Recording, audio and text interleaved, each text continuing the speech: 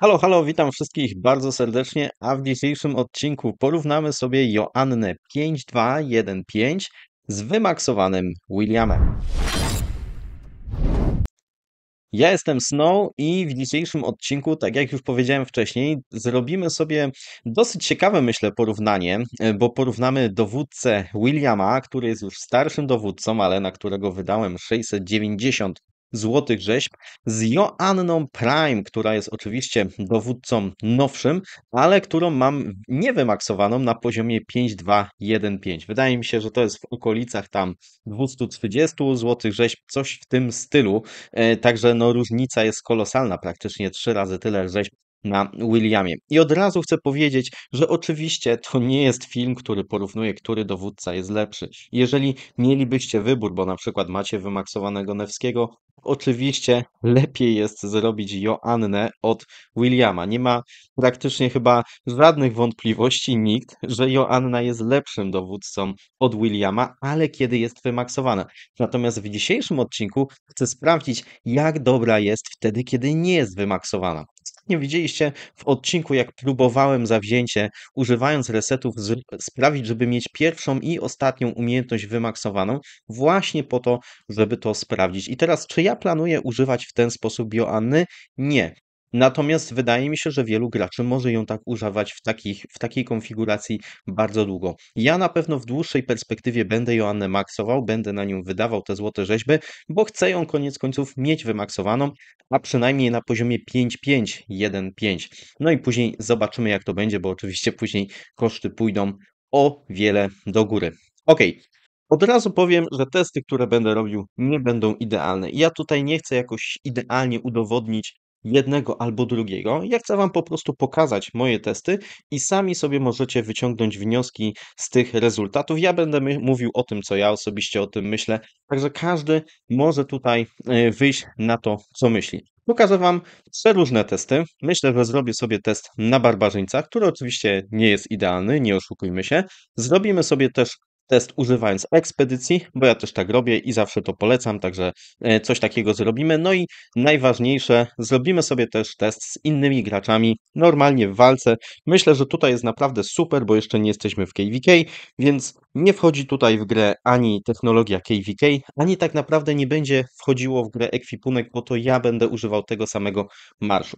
Od razu też mówię, że będę używał tego ekwipunku, który ja używam, jeśli chodzi o kawalerię, więc nie będę tutaj zmieniał, nie będę tutaj dawał innych akcesorii, których nie używam, tylko będę miał te akcesorie, które używam, bo ja chcę przede wszystkim wiedzieć dla siebie, kto będzie lepszy z tymi akcesoriami, które mam, czy to będzie rzeczywiście William, czy to już może będzie e, Joan Prime, e, co i też postaram się pokazać, że w niektórych sytuacjach, e, takich jak naprawdę walczymy w KVK, ta Joan może być lepsza. Zresztą na pewno jeszcze na moich live'ach zobaczycie, że będę starał się wymieniać tą parę i będę używał raz Williama, raz będę używał Joan i zobaczymy sobie, jak to wygląda na raportach, ponieważ wiecie, te testy, które robimy w grze, bardzo często nie odzwierciedlają tak naprawdę walki w KVK. E, dlatego każdy musi myśleć dla siebie, jak walczy. No bo jeżeli zrobię zrobię za chwilę jakiś test z jakimś graczem i będziemy sobie walczyć od początku do końca, jeden na jeden marsz, to ile razy to wam się zdarzy w trakcie KVK? Niekiedy to będzie po prostu zero razy albo e, dosłownie kilka. Walka w KVK tak nie wygląda. Walka w KVK najczęściej wygląda w ten sposób, że walczymy dosłownie przez kilkadziesiąt, kilkanaście sekund, niekiedy nawet kilka sekund i wracamy i znowu i wracamy i tak dalej, i tak dalej. I wydaje mi się, że pod tym względem e, Joanna może być trochę lepsza. Ale żeby to wytłumaczyć, pokażę Wam umiejętności. Ok, spójrzmy sobie tutaj szybko na Williama. William w pierwszej umiejętności wygląda całkiem solidnie. Ma tutaj obrażenia w wysokości 1500 i są to obrażenia obszarowe, chociaż ten obszar jest naprawdę słaby, e, bo on, ten kształt jest po prostu dla mnie beznadziejny, ale ma też redukcję prędkości marszu, co jest bardzo fajne i oprócz tego, o czym niekiedy się zapomina, e, zaatakowane oddziały nie mogą korzystać z efektów zapewniających dodatkowe obrażenia od umiejętności przez 3 sekundy, co jest naprawdę dobre, bo to zatrzymuje wiele umiejętności takich, które chociażby ma Bodyka albo wiele, wiele innych dowódców, którzy są w Rise of Także na pewno jest to tutaj w tej pierwszej umiejętności duży plus. Te obrażenia nie są takie duże. Obszar słaby, ale poza tym powiedziałbym, że to jest dobra umiejętność. Oprócz tego mamy atak kawalerii, mamy prędkość marszu 15%, no i wszystkie obrażenia 10%, to też jest naprawdę fajna rzecz. Jeśli chodzi o trzecią umiejętność, to tutaj będziemy mówić już o ekspertyzie i tutaj mamy 10% na to, że będziemy mieli, tutaj też jest atak zwiększony, tak, o 30%, y, natomiast mamy 10% na to, że zadamy wrogowi obrażenia od umiejętności o wysokości 1000, a jeśli będzie tego rywala okrążało 5 marszy, jak to często jest, kiedy atakujemy pięcioma marszami, to jeszcze dodatkowo będzie y, atak zwiększony o 500, czyli to będzie 1500. Natomiast tutaj problemem jest te 10% szans, no bo nie jest aż tak znowu często, że nam się w ogóle uda tego ataku, na tym ataku skorzystać. Y, tutaj albo mamy szczęście i tego użyjemy częściej, albo mamy pecha i nie użyjemy tego praktycznie w ogóle. Tak czy inaczej jest to, y, powiedziałbym, plus. No i ostatnia rzecz, która jest świetna, natomiast tu jest wielkie ale.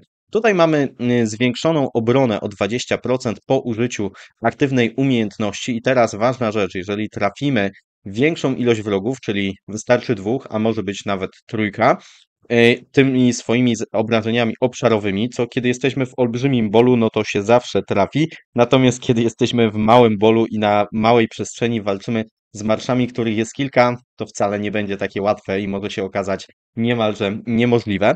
Wtedy, e, natomiast jeżeli to się uda, to wszystkie oddziały e, nasze sojusznicze będą miały 20% więcej ataku, e, przepraszam, obrony, natomiast to też jest zlimitowane do 5, no i będziemy mieli odzyskiwanie szału 50 przez 3 sekundy i to też jest duży plus, bo to jest pasywna umiejętność, nieaktywna, tak jak na przykład u Trajana, więc one będą na siebie się nakładały z innymi plusami, które będziemy mieli właśnie do odzyskiwania szału i to też u Williama jest bardzo dobre. Także koniec końców William na pewno jest cały czas bardzo dobrym dowódcą.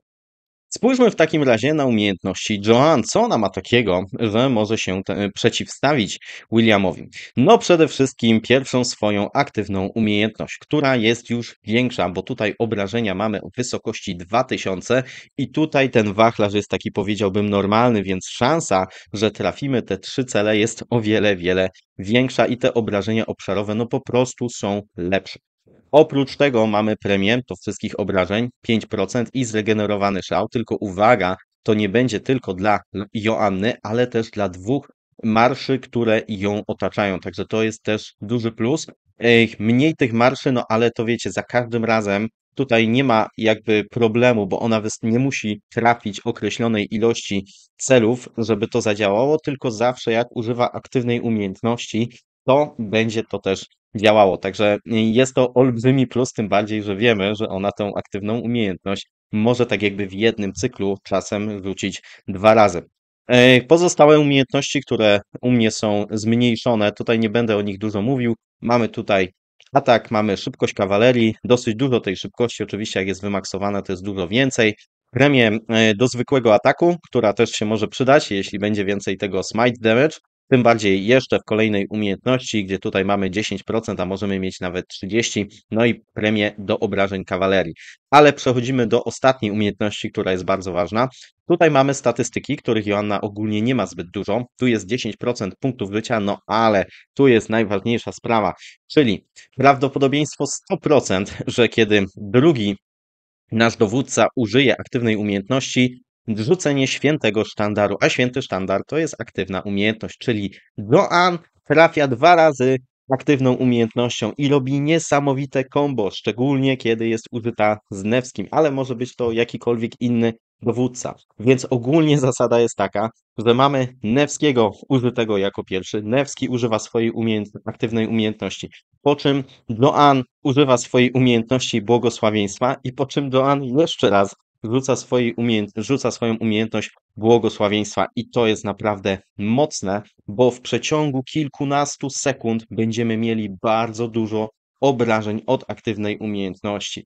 Jeżeli sobie tutaj pomyślimy o takiej walce, która było nie było jest najczęściej w KVK, że ta walka trwa dosłownie kilkanaście sekund. Jeżeli uda nam się trzy razy użyć tej aktywnej umiejętności, później się już możemy wycofać. Później bardzo często rywal się wycofa i gdzieś nam ucieknie, już nie będziemy go atakować, już nam to wszystko przepadnie i wydaje mi się, że pod tym względem Joanna może być dużym plusem. Zresztą to jest najpopularniejszy marsz w tej chwili w Rise of Kingdoms, więc skądś to się bierze? Wydaje mi się, że tutaj tak naprawdę jak popatrzymy, to możemy powiedzieć, a nie ma tych statystyk tak dużo. Co takiego sprawia, że ten marsz jest taki dobry? Ano właśnie to, że ten marsz się idealnie dostosowuje do tego, czym Rise of Kingdoms jest najczęściej, czyli taką właśnie wojną podjazdową trochę atakuje, rywal mi ucieka, ja muszę uciekać. Mnóstwo tego jest. Jeżeli ja jestem w stanie w przeciągu 15 sekund, nie wiem, 20 sekund zadać bardzo duże obrażenia, to się liczy, bo te walki najczęściej tyle będą trwały. Oczywiście czasem walczymy do samego końca i to tutaj też będziemy sprawdzać. Natomiast wydaje mi się, że taka Joanna w pewnych sytuacjach może się okazać lepsza od Williama ze względu właśnie na to, bo ona umie y, zadać duże obrażenia w małym przed, mm, jakby w małym okresie czasu, tak? Jeżeli będziemy walczyć dłużej, wydaje mi się, że William może tutaj wyglądać lepiej ze względu na te dodatki, które będzie nadawał, szczególnie kiedy będziemy walczyć w wielkim bolu. Ok, przejdźmy w takim razie już do testów. Pierwszy test na barbarzyńcach i wiem, co powiecie, że ten test jest e, nic nie warty, no bo to tylko barbarzyńce i oni nie umieją walczyć i w ogóle nie liczą się. W żadnym wypadku. A komu to potrzebne? Komu to potrzebne? Natomiast y, pojedynek z barbarzyńcami, jeżeli używamy tego samego ekwipunku i tak dalej, też jakieś liczby nam pomoże. Widzimy tutaj właśnie te y, podwójne umiejętności Joan, które są rzucane i to jest naprawdę duża różnica, y, która tutaj będzie i też jakieś punkty tutaj y, zobaczymy. No i tak jak mówiłem wcześniej, będziemy testować praktycznie w takich samych warunkach, czyli tutaj mamy barbarzyńców poziom 25 i za chwilę znajdę jakiegoś drugiego barbarzyńcy, który ma e, właśnie poziom 25 poza terenem sojuszu, żeby wszystko było dokładnie tak samo za pierwszym i za drugim razem. Oczywiście barbarzyńcy są słabi, z barbarzyńcami jest krótka walka, troszeczkę inaczej się rozkładają umiejętności, więc e, lepsze są oczywiście testy e, z innymi graczami, natomiast za barbarzyńców nie musimy płacić surowców ani e, rachunku ze szpitala, także plus taki mały będzie w moją stronę. Na razie pokażę Wam raport, ale on nie będzie wcale ważny, dopóki nie zobaczymy drugiego raportu. Ok, no i teraz e, dokładnie te same warunki, natomiast będziemy sprawdzać teraz z Williamem wymaksowanym oczywiście. E, także zobaczymy, jaki tutaj William osiągnie wynik. Widzimy, że te umiejętności nie chodzą tak szybko, ponieważ tutaj musimy też zauważyć ten fakt, że William nie ma tutaj absolutnie szans trafić swoimi obrażeniami obszarowymi innych marszy. Nie miała też tych szans Joanna, więc jej obrażenia były zwiększone, natomiast możliwości Williama są zmniejszone. Ale szczerze y, wiem, że tak po prostu jest. Nie chcę tutaj robić jakichś niesamowitych warunków. Musiałbym mieć tych barbarzyńców jakoś idealnie ułożonych, co jest praktycznie niemożliwe. E, także musimy te rzeczy jak najbardziej wziąć pod uwagę. To, co mówiłem, to nie są jakieś laboratoryjne testy, które nam pokażą cokolwiek e, ważnego. Zresztą myślę, że testy na barbarzyńcach to też nie jest jakby creme de la creme, ale pewne rzeczy już nam mogą rzeczywiście pokazać. Spójrzmy w takim razie na raporty. Czekajcie, dodam sobie do ulubionych. No i teraz mamy dwa raporty. Pierwszy jest William widzimy, że pozostałe jednostki 14 tysięcy i 130 ciężko rannych. Spójrzmy, jak to wygląda u Joan. Jeśli chodzi o ciężko rannych, no to jest praktycznie remis. No tutaj nie ma różnicy. Lekko rannych, spójrzmy sobie, e, więcej ma Joan, natomiast jeśli chodzi o pozostałe jednostki, 14, no to powinna mieć też chwileczkę. Źle tutaj spojrzałem, 14 269, 14 tysięcy oczywiście, a tutaj 14 396, także lepiej tutaj wypadł William. E, pokażę Wam jeszcze test, który robiłem wcześniej, e, tylko było trochę więcej jednostek, 25 tysięcy. I tutaj z kolei e, Joanna wyszła tak delikatnie, bardzo delikatnie na lepszy marsz, także no, są na pewno pod tym względem porównywalni, co moim zdaniem w tym teście już jest na korzyść Joan, no bo jednak ilość rzeźb wydanych na Joan jest zdecydowanie, zdecydowanie mniejsza. Ktoś się może śmiać, że jednak William lepszy, bo William dał mi klejnoty, a Joan nie, ale to oczywiście tylko kwestia szczęścia.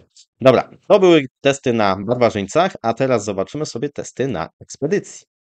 Ok, i teraz powiecie, jak e, zrobić test na ekspedycji. Jest o tym u mnie osobny odcinek, także będę za chwilę atakował praktycznie tymi samymi marszami, natomiast będę się starał atakować też e, te same marsze przeciwnika i tutaj oczywiście ustawiam się tak, żeby jak najwięcej przeciwników uderzyć, czyli najpierw uderzam, widzicie tutaj Lisangie i Elsida, żeby złapać w moje obrażenia obszarowe. Następnym, którego uderzę będzie Saladyn, żeby tutaj też uderzać więcej marszy i będę po prostu patrzył na czas, który mamy tutaj pokazany i będę sprawdzał, którym marszem po prostu szybciej pozbędę się tych wszystkich wrogów. Postaram się też sprawdzić, ile zostało mi, e, jeśli chodzi o marsz w, w moim marszu jednostek, no i czy w ogóle uda mi się wygrać, bo to też jest jeszcze dodatkowy problem. Ok, teraz uderzamy Saladyna.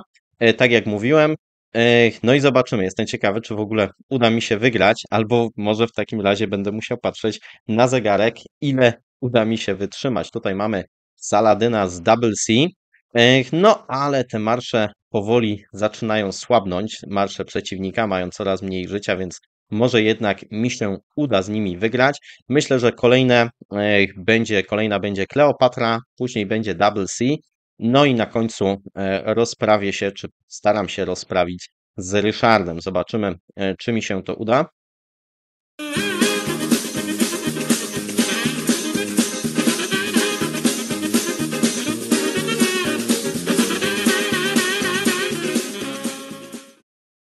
No jak widzicie, udaje mi się, patrzymy teraz mocno na zegarek, widzimy, że około 80 tysięcy, minuta 43 została mi. Te leczenie Ryszarda jest tutaj naprawdę mocno uciążliwe, ale zapisuję sobie minutę 43 i zaraz spróbujemy zrobić dokładnie ten sam test, ale z Williamem. Ok, no i ruszamy tym razem William. Spróbuję też jako pierwszego zaatakować właśnie marsz YSG. Trochę inaczej nam się rywale ustawili, ale możliwe, że to będzie na korzyść e, Williama, który być może trafi drugi marsz, czyli właśnie Ryszarda. Wtedy byłby duży plus dla niego. E, no zobaczymy. No nie mamy tutaj też żadnych innych jednostek, które mógłby buffować, no ale możliwe, że trafi ten marsz jako drugi. E, później znowu rozprawimy się jako drugi będzie marsz właśnie z Saladynem, no i będziemy próbować kolejne marsze.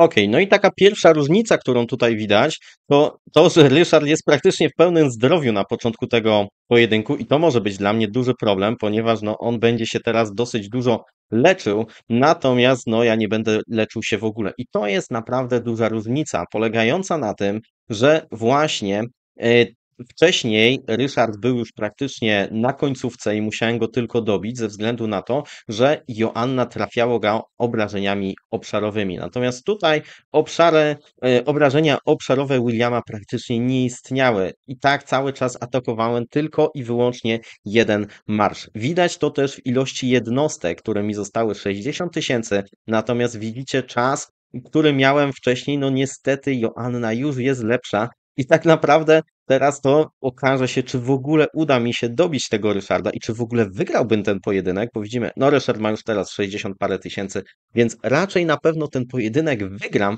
czy zdążę przed upływającym czasem, tego nie jestem pewny. Więc w tej tutaj klasyfikacji absolutnie wygrywa Joanna. Jest to jednak pojedynek, w którym Joanna ma pewne plusy, no bo właśnie sama, kiedy jest to zawsze dowódca, który ma obrażenia obszarowe, będzie sobie radził lepiej, ale możemy o tym pomyśleć, kiedy właśnie my wychodzimy do KVK i też pomyśleć, że ok, ja też, kiedy będę w wielkim bolu, będę zadawał po prostu większe obrażenia i będzie mi dużo łatwiej zadać te obrażenia mojemu przeciwnikowi niż właśnie używając Williama, gdzie tak naprawdę mamy obrażenia bardziej na jeden cel.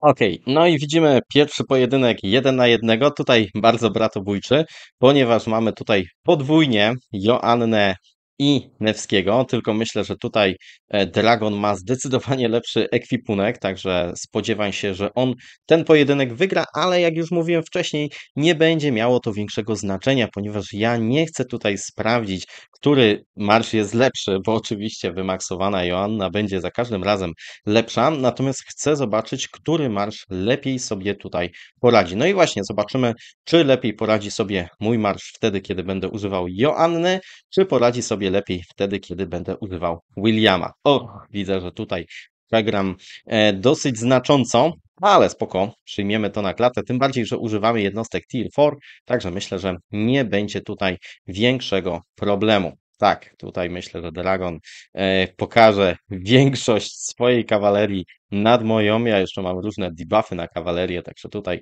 absolutnie nie miałem szans. Wrzucimy sobie ten raport do ulubionych. No i widzimy, jak on wygląda, ale na ten moment on nas tak bardzo nie interesuje, ponieważ teraz będziemy testować i będziemy testować tym razem z Williamem. Ale Williamie też nie damy Ci jednostek Tier 4, Ty też dostaniesz, przepraszam, Tier 5, Ty też dostaniesz jednostki Tier 4, 50 tysięcy. Mamy dokładnie tą samą historię i za chwilę zobaczymy drugą walkę, bardzo podobną, no i zobaczymy, jak w tym pojedynku poradzi sobie William. Ok, no to do dzieła. No i tutaj widzimy, że na razie nic nie widzimy. Na razie to tylko początek walki, ale jestem ciekawy. Wydaje mi się, że w takiej walce może lepiej sobie poradzić William. Nie na tyle, żeby wygrać albo w ogóle być blisko, bo widzimy, że tutaj po raz drugi przegrywam dosyć znacząco. No ale porównanie tych dwóch raportów tutaj będzie bardzo ważne. Od razu mówię, że nie będę tych raportów robił jakoś, wiecie, 15 razy, żeby sprawdzić idealnie, jaka jest średnia, e, a wolę testować w grze niż na symulatorach, ponieważ symulatorom koniec końców nie ufam, więc wolę zawsze sobie to zrobić w grze. Jakiekolwiek testy w grze moim zdaniem mają większy sens. E, dlatego wygląda to właśnie w ten sposób. No nie wiem, czy po słupkach jesteście w stanie stwierdzić, kto sobie lepiej poradził. Wydaje mi się, że całkiem możliwe, że William jednak radzi sobie lepiej. Jeżeli pojawi się tutaj czerwona kreska e, u Dragona, no to od razu będzie wiadomo, że, że William poradził sobie lepiej, ale na ten moment nie jestem tego taki pewny, chociaż chyba jednak jest znacząca przewaga Williama w tym teście. Zaraz zobaczymy, czy rzeczywiście tak jest. Tutaj też wrzucimy do ulubionych. No i teraz porównajmy sobie te dwa testy. Ok, po mojej stronie tutaj mam ciężko rannych 6990, a no i to w zasadzie jest jedyna liczba, bo nie mam żadnych pozostałych jednostek. Moglibyśmy też tutaj zobaczyć, ile u Dragona mi się udało. Tutaj 4200. Natomiast w tym raporcie wygląda to o wiele gorzej, jeśli chodzi o stracone jednostki 8600 aż, a Tutaj udało mi się uciąć u niego 4600, więc trochę więcej zyskałem, natomiast dużo więcej straciłem, więc w tym akurat pojedynku William zdecydowanie wygrywa, jeśli chodzi o taki pojedynek jeden na jednego. Ok, a tutaj kolejny test, tylko tym razem, jak za chwilę zauważycie, będę się próbował wycofać dosyć szybko. Także ja tutaj mam jednostki, tylko sprawdzę, czy moje jednostki to są E, też Tier 4, tak samo jak u niego. Tak jest. I teraz zobaczycie, spróbuję się w pewnym momencie wycofać z tej walki. Wtedy, kiedy użyję potrójnie mojej umiejętności. Ok, czy to już się stało? Chyba tak. Dobra. Ok, i porównajmy sobie teraz wyniki takich krótkich starć. No i tutaj widzimy, że William 5000 do 3400, Natomiast e, tutaj mamy 5600 kontra 3339, e, tak? Także różnice praktycznie znikome. Wygląda to bardzo podobnie, jeżeli będziemy mieli właśnie taką krótką walkę. Natomiast E, jeśli chodzi o ilość sekund, tutaj było, tych, e, było tej walki trochę więcej e, przy Williamie, więc jeszcze odchodząc trochę więcej oberwałem, wydaje mi się, więc wyglądałoby to chyba jeszcze trochę lepiej na korzyść Williama. Jeśli chodzi o raporty, to mam tutaj jeszcze porównanie z łucznikami i zobaczcie, tutaj Jeśli chodzi o łuczników, to kiedy byłem z Williamem, to udało mi się wygrać tą walkę i no raport jest e, dużo lepszy, natomiast kiedy używałem Joanny, no to niestety przegrałem i tutaj też możecie sobie porównać liczby. Tutaj Jakubowi wielkie dzięki za to, że właśnie e, ze mną na ten test się też zdecydował. Ok, a teraz będzie najciekawszy test, czyli 5 na 5. Używamy tutaj małych marszy, no bo nie chcemy tutaj marnować bez sensu surowców. Myślę, że i tak jakieś tutaj wyniki będą. Jestem bardzo ciekawy, zwłaszcza tego testu, właśnie jak w takim większym murder ballu, e, który spróbujemy teraz sprokurować, będą te marsze sobie radziły i jak to po prostu wyjdzie. Test nie jest do końca równy. Dragon będzie miał trochę więcej jednostek, no ponieważ nie ma tutaj pięciu mocnych marszy, a chcemy, żeby ta walka też e, trochę trwała, także tutaj z jednej strony fory, ale będzie to dwa razy dokładnie to samo, e, także ja się postaram też atakować jego marsze w dokładnie tej samej kolejności, tak żeby ten test był równy, natomiast no może być to, to, być to trudne, ponieważ nie mamy tu dużo jednostek, tutaj akurat chyba lepiej by było przetestować na arce, gdzie nie musielibyśmy robić surowców, no ale to znowu trwałoby e, więcej czasu. Także spróbujemy po prostu ten sposób. No i cóż, e, muszę sobie wybrać jakiś tutaj jeden jego marsz, który będę atakował jako pierwszy. To nie będzie Saladin. Najlepszy byłby tutaj na początek XY, tylko nie mogę go znaleźć. O, jest ten XY. Dobra. 3, 4, start, jedziemy. Mam nadzieję, że Dragon też jest przygotowany, żeby już atakować. Halo, halo, dawaj. O, chyba już atakuje. Nie, nie atakuje mnie. Coś do mnie pisze. O, to nie jest dobry test. Dobra, e, teraz już walczymy. Już teraz e, mamy tego, e, mamy to, co miało być. O, jeszcze tu ma double C, nie zauważyłem. To zaatakujemy double C jako drugiego. To jest test z Joan, od razu mówię. Ok, mamy tutaj XY poszedł, teraz double C, u mnie Henry, już niestety koniec z nim. Teraz będziemy próbowali następnego wykończyć Huo. Jak już wykończymy tego double C, no i zobaczymy, jak to będzie wyglądało. Dobra. Teraz Huo. U mnie też już niestety tylko trzy marsze. Bodika niestety zmarła. A tutaj został jeszcze Saladin, Huo, no i Nevski Joan. To podejrzewam najmocniejszy marsz. Szkoda, że go zostawiłem na yy, za długo. Ok, tutaj zostały mi tylko dwa marsze. No i pewnie przegram ten test. Myślę, że wybór może nie był najlepszy, ale i tak będę robił to dwa razy, no ponieważ chcę zrobić dwa razy ten sam test i następnym razem uderzymy z Williamem. Ok, widzimy, że test przegrałem, trzy marsze zostały e, Dragonowi. Fuo taki podrażniony, no i Nevski e, z Saladynem wyglądają jeszcze całkiem nieźle. Jeśli chodzi o raporty, to wyglądają one w ten sposób, tak wygląda Guan. Tutaj najważniejsze, czyli Nevski, Joan, całkiem wyglądają nieźle. E, dalej mamy e, Nebu z Hondą, to takie nowe połączenie, którego sobie teraz próbuję, nie jest źle. E, tutaj mamy Bodikę i Artemizję, całkiem też nieźle. No i na końcu mamy Henry'ego Zygę, który będzie wyglądał źle, no ze względu na to, że on obrywał jako pierwszy. Dobra, to teraz przygotujemy dokładnie te same marsze, tylko że tym razem będę używał Williama. Ok, a teraz użyjemy Williama. No i zobaczymy, czy będzie jakaś różnica. Muszę tutaj znaleźć po raz kolejny XY'a. No i proszę bardzo, zobaczymy, jak szybko tym razem zostanę zniszczony. E, kolejność zostaje dokładnie taka sama. Najpierw William. Jako drugi będę przynajmniej próbował jako drugiego pozbyć się Double C. No i później myślę, że zostanie tylko i wyłącznie Huo, którego mógłbym w jakikolwiek sposób uderzać. Dobra, double C. Już teraz idzie na drugi ogień. O, ja miałem jeszcze cały czas 5 marszy. Jak to się stało? Nie wiem, czy tu jest wszystko tak, jak było wcześniej. Czy William po prostu jest taki silny? Może tak.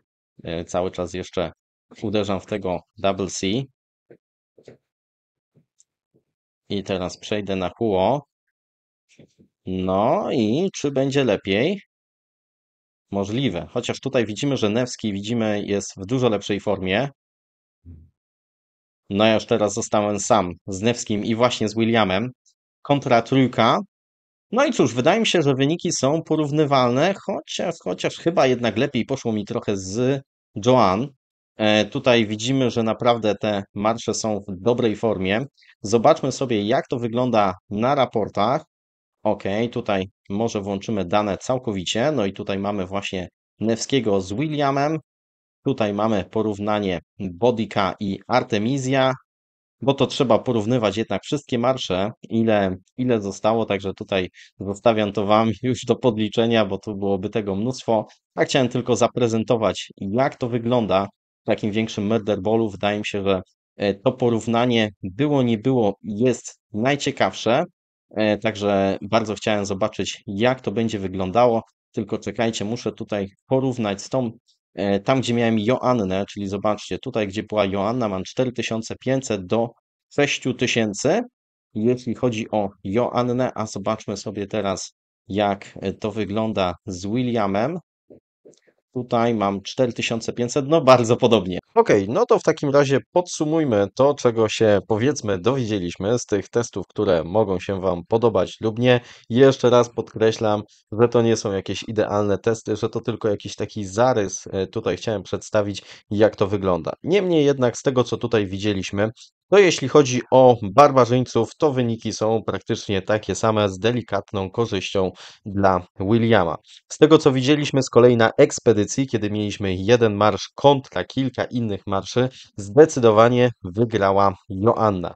Z drugiej strony, w takich pojedynkach jeden na jeden jeśli chodzi o normalną walkę e, tutaj w Rise of Kingdoms, no to wygrywa ta para z Williamem nad tą parą z Joanną. No i dla mnie najciekawszy test, który tutaj jest najtrudniejszy tak naprawdę do zrobienia, żeby był naprawdę porówno, ale niemniej jednak wyszedł na korzyść Joanny, czyli walka 5 marsy moich kontra 5 marszy przeciwnika lepiej wypadła Joanna. Jeśli chcecie, żebym jeszcze spróbował, może nie wiem, arce pełnymi marszami, e, może w jakiejś innej konfiguracji, to jeśli będzie, nie wiem, 500 lajków, e, to chętnie to zrobię. Szczerze nie chce mi się tego robić, dlatego taka trochę zaporowa jest e, ta opcja. Myślę, że tego nie będzie, ale jeżeli się postaracie, jeżeli bardzo chcecie, to zrobię tych testów trochę więcej.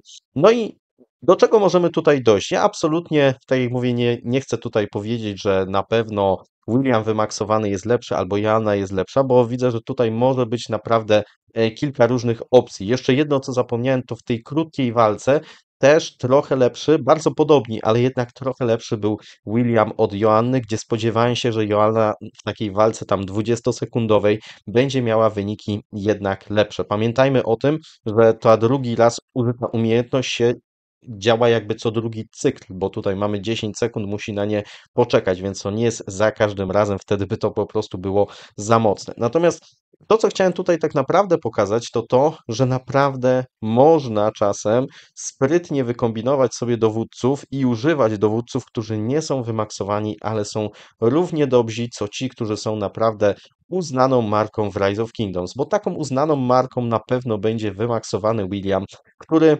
Myślę, że większość graczy powie, że naprawdę jest to bardzo dobry dowódca. Myślę, że zdecydowana większość graczy kawalerii tego dowódcę używa w walce w polu, więc jeżeli możemy mieć dowódcę, który jest porównywalny, może czasami lepszy, może czasami gorszy, ale na pewno porównywalny za taką ilość rzeźb, która jest zdecydowanie no po prostu mniejsza, y, to jest to moim zdaniem bardzo dobry prognostyk. I jeżeli jesteśmy na takim etapie, że tych rzeźb nie mamy za dużo, że szukamy właśnie takich dowódców, w których będziemy mogli zainwestować na początku trochę mniej, później będziemy mogli ich jeszcze domaksować, ale już na jakimś etapie będą się nadawali do walki, to na pewno Joanna jednym z takich dowódców jest. I mam nadzieję, y, że to jest y, taki wniosek, tak, że jeżeli ktoś chciałby używać tej Joanny właśnie niewymaksowanej, to myślę, że absolutnie nadaje się ona do tego, żeby ją używać i ona naprawdę sobie całkiem nieźle poradzi. Y, także pod tym względem jest to pozytywne. Na pewno jeszcze będę testował, jeśli chodzi o Arkę Ozyrysa. Będę ją na pewno też testował w KVK, także zobaczę, jak to będzie wyglądało. A na dzisiaj to już wszystko. Wielkie dzięki za to, że byliście. Jeśli Wam się podobało, to wbijcie lajka, suba i do usłyszenia następnym razem. Cześć.